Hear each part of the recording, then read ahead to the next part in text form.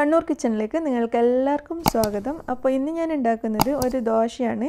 നമുക്ക് ബ്രേക്ക്ഫാസ്റ്റിന് അല്ലെങ്കിൽ ഡിന്നറിനൊക്കെ ഉണ്ടാക്കാൻ പറ്റിയ നല്ല ക്രിസ്പി ആയിട്ടുള്ള ഒരു ദോശയുടെ റെസിപ്പിയാണ് കാണിക്കുന്നത്. അപ്പോൾ ഇതുണ്ടാക്കുന്നത് ചെറുപയർ പരിപ്പ് വെച്ചിട്ടാണ്.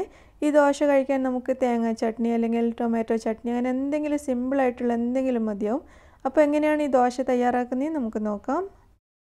ദോശ ഉണ്ടാക്കാൻ വേണ്ടി ഞാനിവിടെ എടുക്കുന്നത് ഒരു കപ്പ് ചെറുപയർ പരിപ്പാണ്. ഈ പരിപ്പ് നമുക്കൊരു ബൗളിലേക്ക് ഇട്ടിട്ട് അതിനുശേഷം നന്നായിട്ടൊന്ന് കഴുകിയെടുക്കാം.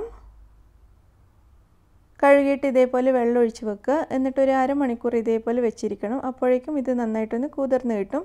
ആ സമയത്ത് നമുക്കിതൊന്ന് അരച്ചെടുത്താൽ മതിയാവും. ഒരു അരമണിക്കൂറിന് ശേഷം നമുക്കിതൊന്ന് തുറന്ന് നോക്കാം. ചെറുപയർ പരിപ്പ് നന്നായിട്ടൊന്ന് കുതിർന്ന് വന്നിട്ടുണ്ട്. ഇനി നമുക്കിതിൽ വെള്ളം മാറ്റിയിട്ട് ഈ പരിപ്പ് നമുക്കൊരു മിക്സിയുടെ ജാറിലേക്ക് ഇട്ട് കൊടുക്കാം. അതിനുശേഷം നമുക്കിതിലേക്ക് ഒരു പച്ചമുളക് ചേർത്ത് കൊടുക്കാം. ഇതിലേക്ക് അര ടീസ്പൂൺ ചെറിയ ജീരകം ചേർക്കാം. അര ടീസ്പൂൺ വരെ കുരുമുളക് ചേർത്ത് കൊടുക്കാം. ഒരു രണ്ട് നുള്ളു വരെ കായം ചേർത്ത് കൊടുക്കാം. കായത്തിന്റെ പൊടിയാണ് ആവശ്യത്തിനുള്ള ഉപ്പ് ചേർത്ത് കൊടുക്കുക.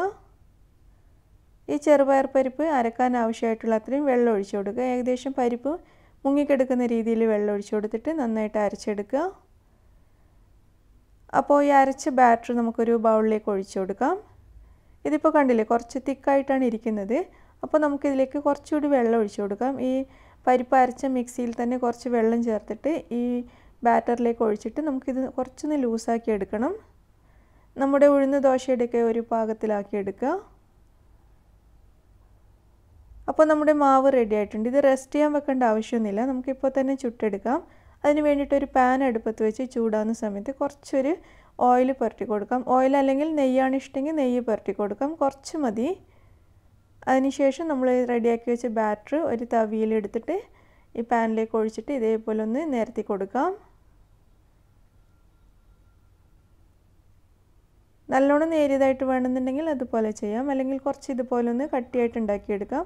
അതൊക്കെ ഓരോരുത്തരുടെ ഇഷ്ടത്തിനനുസരിച്ച് നമുക്കിത് നല്ല മസാല ദോശ പോലെ വളരെ നേരിയതായിട്ടൊക്കെ ഉണ്ടാക്കിയെടുക്കാൻ പറ്റും.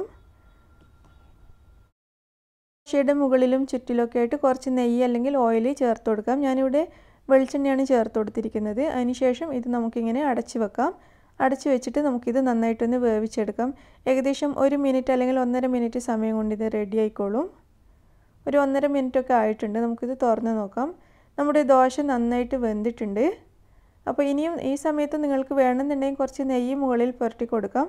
പക്ഷേ ഞാനിപ്പോൾ നെയ്യൊന്നും ആക്കുന്നില്ല. നമ്മൾ നേരത്തെ വെളിച്ചെണ്ണ ഇതിലേക്ക് കുറച്ച് ഒഴിച്ചു കൊടുത്തിട്ടുണ്ടായിരുന്നു. അത് തന്നെ മതിയാവും. നെയ്യ് ഇഷ്ടമുള്ളവർക്ക് നെയ്യ് ചേർത്ത് കൊടുക്കാം. അപ്പോൾ ഈ ദോശ തിരിച്ചിടേണ്ട ആവശ്യമില്ല. നമുക്കിതിങ്ങനെ മടക്കി വെച്ചതിന് ശേഷം ഒരു പ്ലേറ്റിലേക്ക് മാറ്റി കൊടുക്കാം. തിരിച്ചിടേണ്ട ആവശ്യമില്ല. നന്നായിട്ട് വെന്തിട്ടുണ്ട്. നമ്മളിത് അടച്ച് വെച്ചതുകൊണ്ട് തന്നെ പെട്ടെന്ന് തന്നെ നന്നായിട്ട് വെന്ത് കിട്ടും. അതുകൊണ്ട് തിരിച്ചിട്ടിട്ട് പിന്നെ വേവിക്കേണ്ട ആവശ്യം വരുന്നില്ല. അപ്പോൾ ഞാനിതൊരു പ്ലേറ്റിലേക്ക് മാറ്റി കൊടുത്തിട്ടുണ്ട്. കണ്ടില്ലേ നല്ല ക്രിസ്പി ആയിട്ടുള്ള ദോശയാണ്. നല്ല കറുമുറാന്നിരിക്കുന്ന ദോശ റെസിപ്പിയാണ്. അപ്പോൾ നമുക്ക് ഇതിന്റെ കൂടെ ഞാനിന്ന് ഉണ്ടാക്കിയിരിക്കുന്നത് തേങ്ങാ ചട്നിയാണ്. ചുവന്ന മുളകൊക്കെ ചേർത്തിട്ടുണ്ടാക്കിയൊരു തേങ്ങാ ചട്നിയാണ്. അപ്പോൾ അത് മാത്രം മതി നമുക്ക് ഈ ദോശ ബ്രേക്ക്ഫാസ്റ്റിന് കഴിക്കാൻ വേണ്ടിയിട്ട്. നല്ല ടേസ്റ്റി ആയിട്ടുള്ള ദോശ റെസിപ്പിയാണ്. നിങ്ങളെല്ലാവരും ട്രൈ ചെയ്ത് നോക്കൂ. റെസിപ്പി ഇഷ്ടമാണെങ്കിൽ നിങ്ങളിത് ഷെയർ ചെയ്യാനും ലൈക്ക് ചെയ്യാനും മറക്കരുത്. നിങ്ങളുടെ അഭിപ്രായങ്ങൾ അറിയിക്കുക. ചാനൽ സബ്സ്ക്രൈബ് ചെയ്യാത്തവരാണെങ്കിൽ പ്ലീസ് ഒന്ന് സബ്സ്ക്രൈബ് ചെയ്യുക. താങ്ക്